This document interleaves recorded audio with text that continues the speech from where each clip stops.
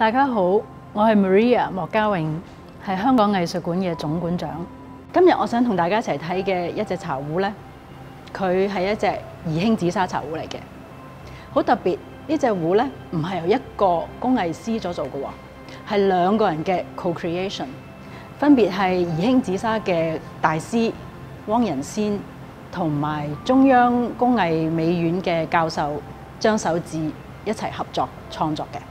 呢隻壺啊個造型好幾何嘅，佢嘅靈感嚟自大自然，係咪令到大家諗起誒蚌殼啊或者貝殼啊咁呢？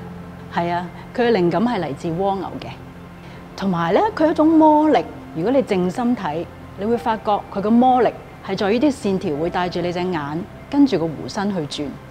好多時候，我哋見到紫砂茶壺咧，都不期然會諗起可能老人家喺度品茗。但係呢隻壺咧，好有時尚感，好現代，完全洗甩晒嗰種老舊嘅感覺。一方面佢繼承咗宜興紫砂工藝嘅傳統啦，但係另一方面咧，佢又打破咗呢一種傳統俾人嘅感覺。係真係好特別，而呢一種工藝嘅重生咧，要講翻一段古嘅噃。話說咧，喺一九七九年嘅時候，香港一位好有份量嘅紫砂茶具嘅藏家羅桂祥博士，佢第一次去到宜興嗰度參觀，發覺紫砂業原來已經式微咗啦。